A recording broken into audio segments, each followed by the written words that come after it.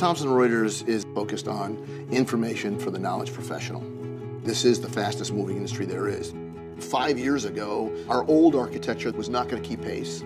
You were chained to your desk. You were also chained to a mainframe-based computing environment. We were working with folks like Siebel, heavy on-premise solutions that really weren't focused on sales. The Salespeople, they wanted a tool that went where they went, and a lot of those on-premise solutions back then just didn't do that. The problem with an on-premise solution was we were responsible for the hardware.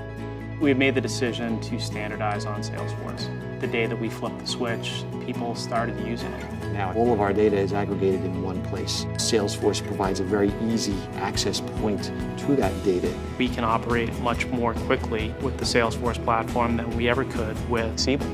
Everything that we do needs to be with the customer in mind to make a better customer experience. The next phase is to leverage social applications to bring us opportunity. You've got to evolve and change with your clients as they evolve, and Salesforce is the tool to do that.